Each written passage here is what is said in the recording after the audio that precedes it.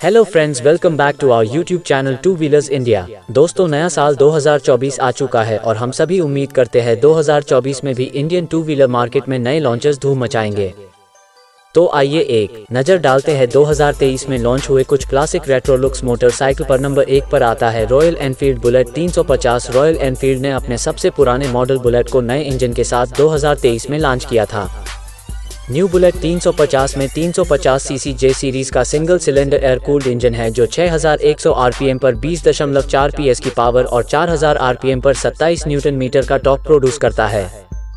Company इस engine को पहले से ही अपने कुछ मॉडल, जैसे क्लासिक 350 हंटर 350 और मेटेओर 350 में पहले से ही इस्तेमाल करती आ रही है। कंपनी ने न्यू बुलेट के लुक्स में कोई ज़्यादा बदलाव नहीं किए हैं, सिर्फ़ कंपनी ने बुलेट सिर्फ़ को नया इंजन और चेसिस दिया है। नंबर दो पर आता है Harley Davidson X four Hero MotoCorp ने हार्ले डेविडसन के साथ मिलकर सबसे सस्ती हार्ले एक्स 440 को भारत में लॉन्च किया था, जो एक बड़ा गेम चेंजर साबित हुआ। इस लॉन्च से हीरो और हार्ले ने 350 सीसी से ऊपर के सेगमेंट के मार्केट में टारगेट किया है। हार्ले डेविडसन एक्स 440 में 440 सीसी का single cylinder oil cooled engine है और ये इंजन 6000 आरपीएम पर 27 एचपी की पावर और 4000 आरपीएम पर 28 नैनोमीटर का टॉप प्रोड्यूस करता है। एक्स 440 को हीरो और हार्ले की टीम ने इंडिया में ही डिज़ाइन और डेवलप किया है और इस बाइक की मैन्युफैक्चरिंग हीरो के प्लांट में ही हो रही है।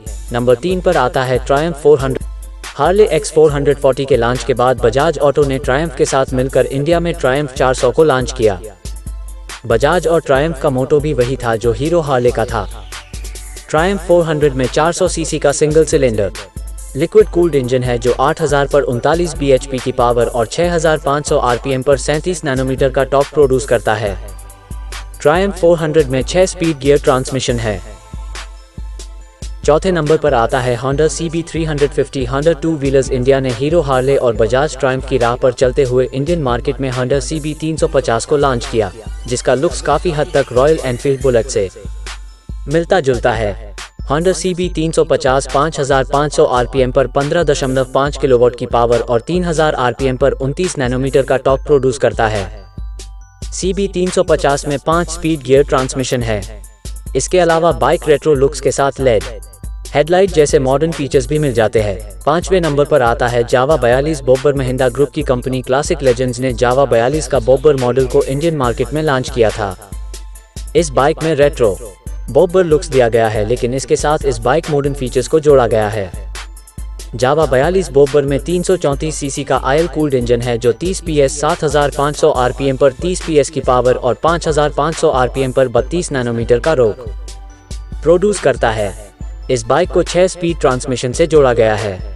इस बाइक में जावा का ड्यूल साइलेंसर देखने को मिल जाता है। सो so फ्रेंड्स आज के वीडियो में सिर्फ़ इतना ही। अगर आपको ये वीडियो पसंद आया तो इस वीडियो को लाइक शेयर और कमेंट कीजिए और अगर आप हमारे इस चैनल पर नए हैं तो हमारे इस चैनल को सब्सक्राइब और बेल आइकॉन को प्रेस कीजिए।